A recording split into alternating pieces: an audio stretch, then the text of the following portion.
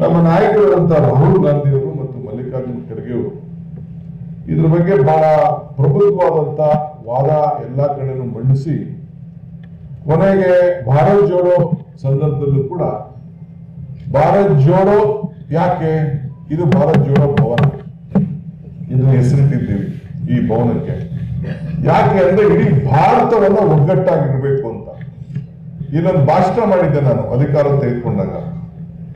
ಕಬ್ಬಣ ಕಬ್ಬಣ ಇದೆಯಲ್ಲ ಕಬ್ಬಣದಲ್ಲಿ ಎರಡು ಪದಾರ್ಥಗಳನ್ನು ಮಾಡ್ಬೋದು.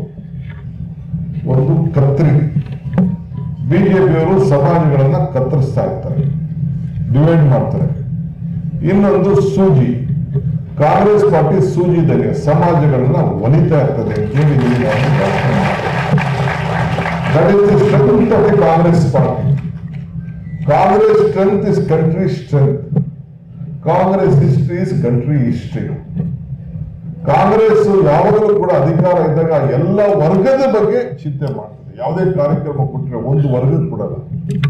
ಬಿಸಿ ಚಿಕ್ಕ ಮಕ್ಕಳಿಗೆ ಬಿಸಿ ಊಟ ಕೊಡೋದಿಂದ ಹಿಡಿದು, ಎಲ್ಲ ದೊಡ್ಡವರು, ಹಿರಿಯರಿಗೆ, ಯುವಕರಿಗೆ ಸಹಾಯ ಮಾಡೋದಿಂದ ಹಿಡಿದು, ವಿದ್ಯಾರ್ಥಿಗಳು ಸಹಾಯ ಮಾಡೋದಿದ್ದು ಎಲ್ಲ ಸಮಾಜದವರು ಕೂಡ ನ್ಯಾಯ ಕೊಡೋದ್ರ ಜೊತೆಗೆ ಈಗ ನಾವು ಕಾರ್ಯಕ್ರಮ ಐದು ಕೊಟ್ಟಿದ್ದೇವೆ ಒಂದು ವರ್ಗಕ್ಕೆ ನಾವು ಕೊಟ್ಟಿಲ್ಲ ಸ್ಟೂಡೆಂಟ್ಸ್ ಕೊಟ್ಟಿದ್ದೇವೆ, ಮಹಿಳೆಯರು ಕೊಟ್ಟಿದ್ದೇವೆ ಸಾಮಾನ್ಯ ಜನರಿಗೆ ಕೊಟ್ಟಿದ್ದೇವೆ ಹೊಟ್ಟೆ ಹೆಸರು ಕೊಟ್ಟಿದ್ದೇವೆ.